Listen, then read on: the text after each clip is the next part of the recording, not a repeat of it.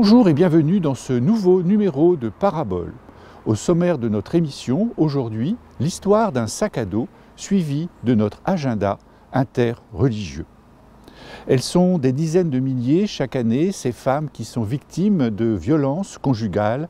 Quelquefois, elles doivent fuir leur domicile sans rien emporter avec elles.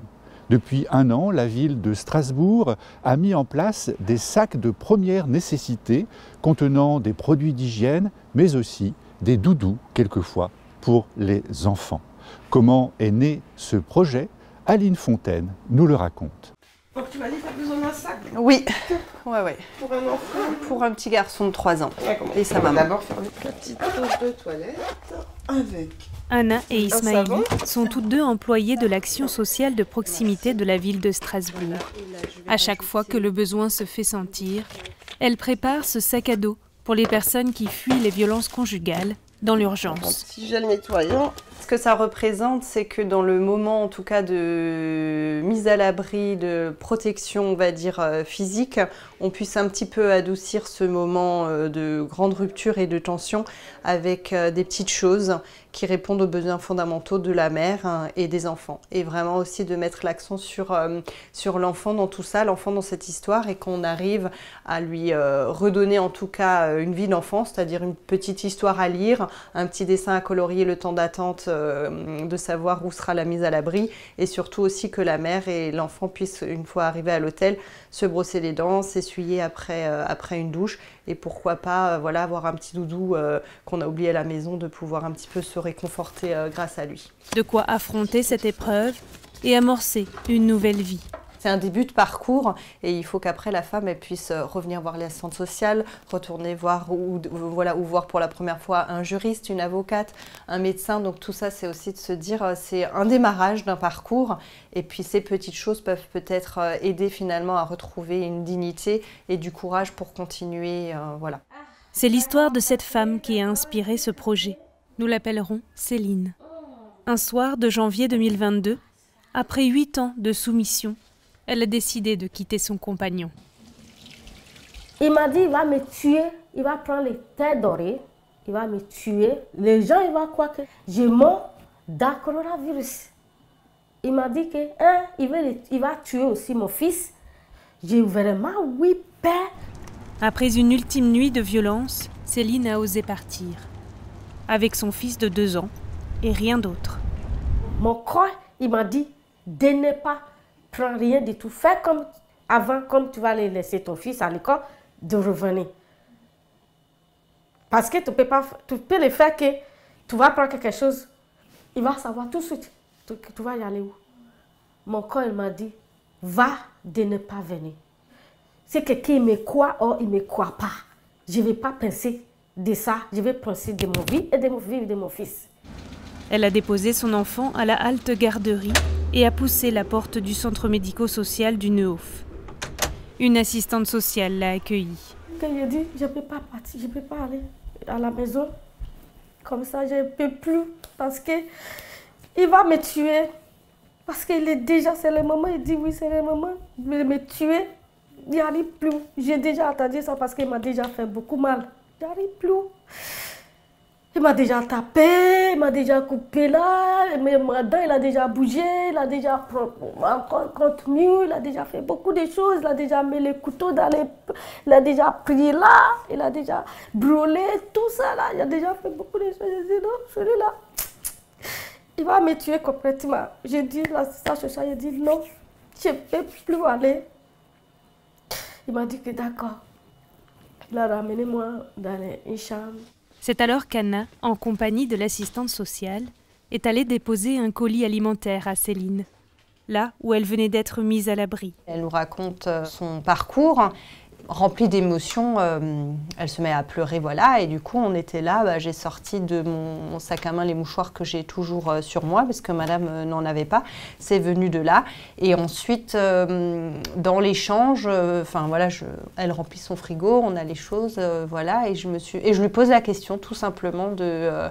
Euh, de comment elle fait du coup pour, euh, pour s'essuyer quand, elle va, euh, quand elle va aux toilettes. Et c'est là que du coup, eh ben, on se rend compte qu'on avait amené le nécessaire alimentaire, mais on avait oublié cette petite chose essentielle. Ce que ça a provoqué, c'est que du coup, il manquait quelque chose. Voilà, on avait peut-être pensé à la sécurité physique.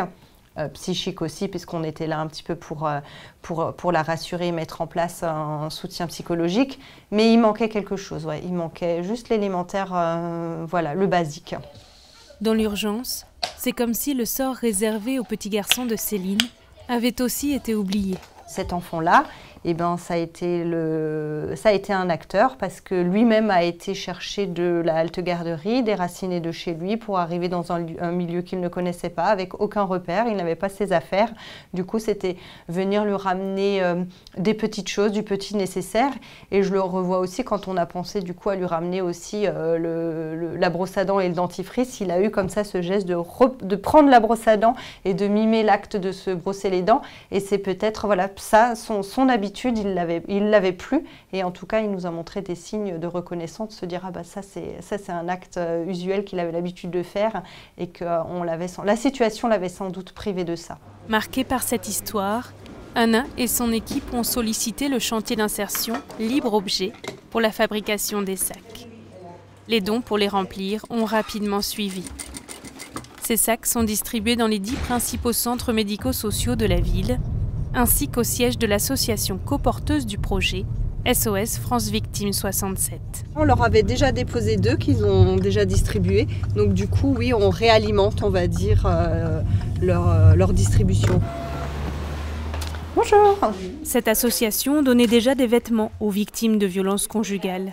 Ces sacs apportent un soulagement supplémentaire. On a dans la plupart des cas ben, des femmes qui partent sans rien, n'ont pas de compte bancaire ou si elles l'ont, elles n'y ont pas accès, elles n'ont pas de carte euh, bancaire, euh, elles n'ont pas de liquidité sur elles. Donc même pour acheter euh, le nécessaire les premiers jours, parce que c'est là où c'est le plus important, elles n'ont rien. Pour répondre à encore plus de besoins, le sac peut désormais contenir un téléphone portable. On a facilement une quinzaine de téléphones. C'est d'une euh, réelle utilité parce que la dernière fois qu'on en a donné un, ça nous a permis de s'assurer que la dame et son enfant soient bien arrivés à l'hôtel parce qu'elle avait du mal à le, trouver. Et du coup, le fait de pouvoir la joindre, nous, on a euh, aussi pu être assurés, elle était bien arrivée. En un an, ses partenaires ont délivré 12 kits d'urgence. Autrement dit, ils ont apaisé 12 situations où les victimes fuyaient dans le dénuement. Il est temps de réfléchir à la suite du projet. Pour l'instant, on est parti sur 50 sacs, mais qu'est-ce qui se passera quand les 50 vont être distribués? Est-ce que c'est un dispositif euh, qu'on a envie de faire euh, perdurer?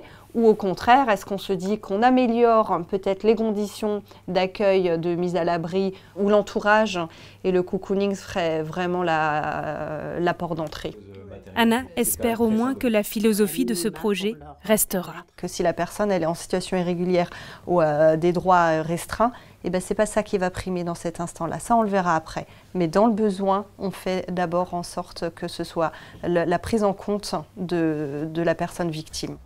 De son côté, Céline fait tout pour se reconstruire. Je vais voir mon 4 séjours. C'est ça, je pensais tous les jours. De revoir à voir que j'ai 4 séjours j'ai un boulot à faire, travailler, faire quelque chose, je peux le faire. Travailler comme ça. Je continue, je fais ma vie. Une vie où elle se sentirait libre. Une vie où elle pourrait enfin, avec son enfant, prendre un véritable envol.